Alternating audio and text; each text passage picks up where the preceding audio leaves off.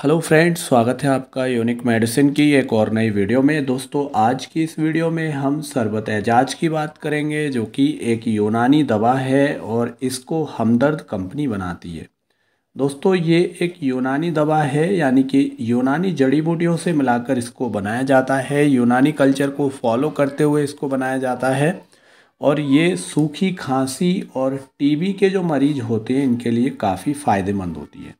तो गाइज़ इस मेडिसिन का अगर हम यूज़ देखें तो अगर किसी को कफ़ है, और ये जो कफ़ है, वो ड्राई कफ़ है मतलब सूखी खांसी है और बहुत ज़्यादा हो रही है तो उस कंडीशन में शरबत, एजाज के बहुत सारे फ़ायदे होते हैं। और गाइज़ ये जो मेडिसिन है, वो टीबी के जो मरीज़ होते हैं, इनके लिए भी काफ़ी फ़ायदेमंद होती है।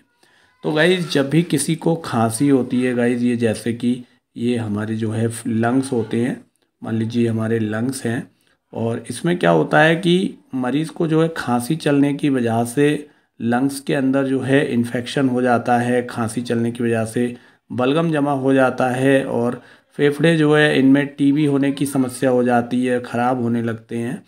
और इसके अलावा जो रेस्पिरेटरी ट्रैक्ट है, ये जो है सूजने लगता है और सांस लेने में परेशानी होने लगती है, रेस्पिरेटरी ट्रैक्ट में प्रॉब्लम आने लगती है, स्वेलिंग वगैरह होने लगती है। तो इसके लिए जो है शरबत एजाज काफ़ी अच्छा होता है दोस्तों। इसमें जब भी इरिटेशन होता है तो इसकी वजह से सूखी खांसी आती है मरीज़ को। और सूखी खांसी की जो फ्रिक्वेंसी है वो बहुत ज़्यादा है मतलब कि बार बार जो है सूखी खांसी आ रही है। तो ऐसी कंडीशन को शरबत एजाज जो है ठीक करता है। तो गाइज़ ये इसके फ़ायदे हो जाते हैं और अगर हम इसका कंपोजिशन देखें तो इसका कंपोजिशन यूनानी जड़ी बूटियों का रहता है, जो यूनानी जड़ी बूटियाँ होती हैं, उससे मिलाकर इसको शरबत की फॉर्म में बनाया जाता है, जो कि एक बहुत अच्छी रेमेडी हो जाती है गाइज़ और डोज़ की अगर हम बात कर लें तो इसकी जो डोज़ है दोस्तों, ये एडल्ट में, मान लीजिए कोई बड़ा रोगी है, एक एडल्ट पेशेंट है तो उसमें 10 से 15 एम शरबत को दिन में दो बार, सुबह और शाम जो है, हल्के गुनगुने पानी के साथ में लेना होता है।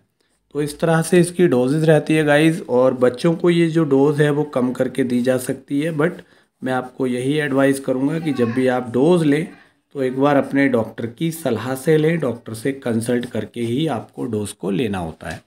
गाइस साइड इफ़ेक्ट की बात करें तो कोई साइड इफ़ेक्ट नहीं करती है, एक सेफ़ मेडिसिन होती है। और सेफ्टी टिप्स की बात करें तो आपको बस ये ध्यान देना है कि जब भी इसको यूज़ करें, इसकी सही डोज़ लें रिकमेंडेड डोज़ लें और मेडिसिन को सही जगह स्टोर करें जिससे ख़राब ना हो, धूल धूप मॉइस्चर से बचाएँ। इसके साथ ही बच्चों से बचा के रखें, वो इसको गिरा ना दें, ज़्यादा इसको पी ना लें।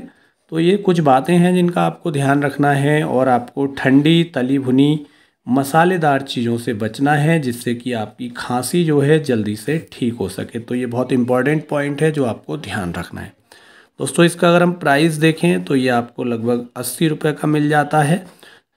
तो आप इसको अस्सी रुपये में ऑनलाइन फार्मेसी या फिर मेडिकल स्टोर वगैरह से ख़रीद सकते हैं। तो गाइज़ ये थी आज की इस वीडियो में सरबत एजाज के बारे में जानकारी। आई होप आपको पसंद आएगी वीडियो अच्छा लगता है तो आप इसे लाइक और शेयर कर सकते हैं। तो गाइज़ आपसे फिर मिलेंगे एक नई वीडियो में। तब तक के लिए जय हिंद।